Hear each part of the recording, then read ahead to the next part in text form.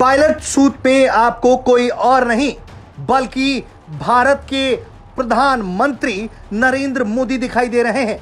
जी हाँ, भारत के प्रधानमंत्री नरेंद्र मोदी ने तेजस विमान में उड़ान भरी है और इसकी जानकारी उन्होंने खुद दी है। दरअसल, प्रधानमंत्री नरेंद्र मोदी एचएल पहुँचे थे।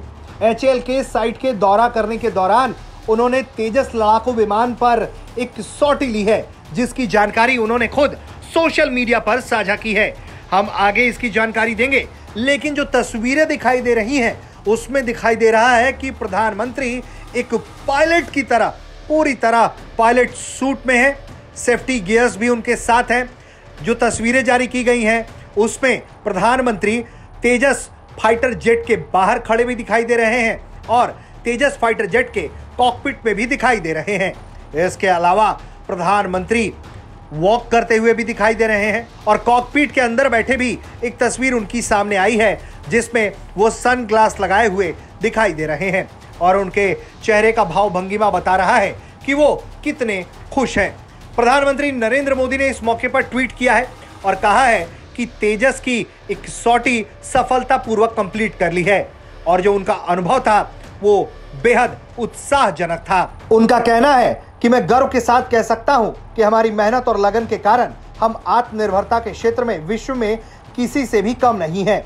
भारतीय वायुसेना, डीआरडीओ, एचएल के साथ ही समस्त भारतवासियों को हार्दिक शुभकामनाएँ।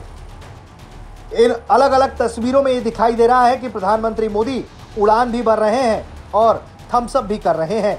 यानी कि प्रधानमंत्री ने तेजस जैसे लड़ाकू विमान में उड़ान भर के एक बात तो साफ़ साफ़ ज़ाहिर कर दिया है कि भारत को अपने बनाए हुए लड़ाकू विमानों पर जिस तरह का भरोसा है, वो अब उसे दुनिया के दूसरे देशों तक ले जाने के मूड में है। क्योंकि पीएम मोदी ने तेजस की मैन्युफैक्चरिंग फैसिलिटी के भी समीक्षा किया और वहाँ तेजस की हवाई यात्रा पर निकले। मेक इन इंडिया पर पीएम मोदी का लगातार ज़ोर है और यह भी वजह है कि multi role fighter jet Tejas को भारत ने मंजूरी दी थी, जिसके बाद से बड़ी तेज़ी से ही तेजस का काम चल रहा है और अब खुद तेजस की उड़ान भरते हुए प्रधानमंत्री नरेंद्र मोदी दिखाई दे रहे हैं। आने वाले दिनों में और भी ज़्यादा तेजस लड़ाकू विमान बनाए जाने की तैयारी चल रही है, जिसका इस्तेमाल भारतीय सेना अलग अलग कामों में करने जा रही है। लेकिन जिस तरह का कॉन्फिडेंस प्रधानमंत्री नरेंद्र मोदी ने तेजस फाइटर जेट में बैठकर दिखाया है और एक जो सफलतापूर्वक इसकी शॉटी कंप्लीट की है, उससे भी तेजस की मार्केटिंग बहुत बड़े स्तर पर चली जाएगी।